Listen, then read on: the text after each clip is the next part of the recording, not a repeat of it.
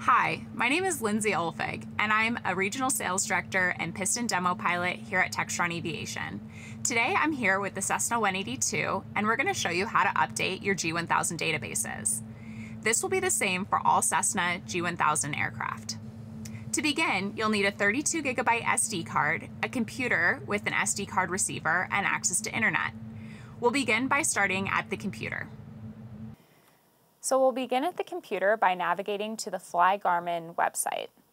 Once the Fly Garmin website loads, you can scroll down, and this is where you'll select the Garmin Aviation Database Manager.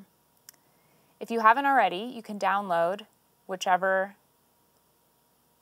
type of computer you have.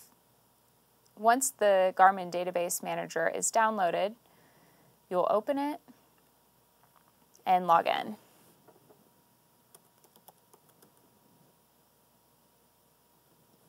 Once logged in, you will see different aircraft listed. This is because we have many aircraft in our fleet, but generally you will just see whichever type you have. The green check mark shows that the database is already update, updated, and the red exclamation mark means that they are expired. Looking at the 182, we'll select our aircraft and we will select update slash reinstall. Once this opens up, we will insert our SD card and then we will select the databases that we would like to update. Today we're going to skip a couple of them.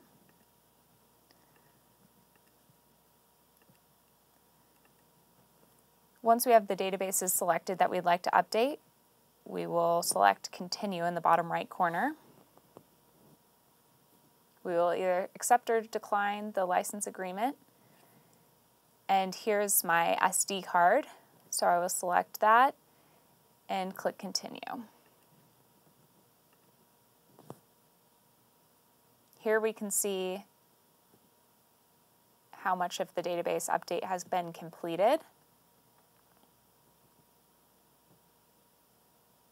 As you can see, the database update has been completed, so we will remove the SD card and head out to the aircraft to complete the update. Now that we have our updated databases and we're back in the aircraft, we'll begin with the power turned off. With both of the cards removed on the right hand side, we'll use our updated databases and place it in the top slot. Now we will turn the power on, master and avionics.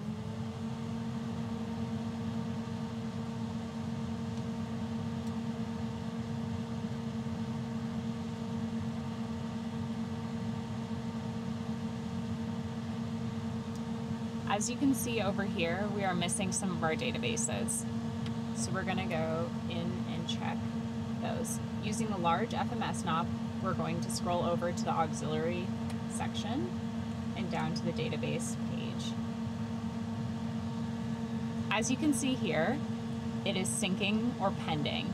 This is going to be the standby. At the top, you can see how much time's remaining and the percentage complete. Now that the synchronization is complete, we're waiting for blue arrows to show up here. This will indicate that the databases will move over to effective at the next power cycle.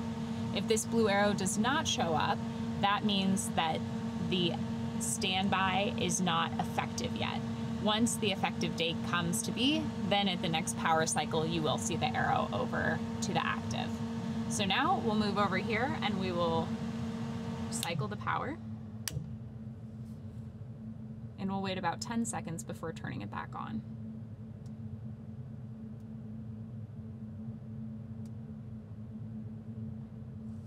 Now that 10 seconds has passed, we'll turn the system back on.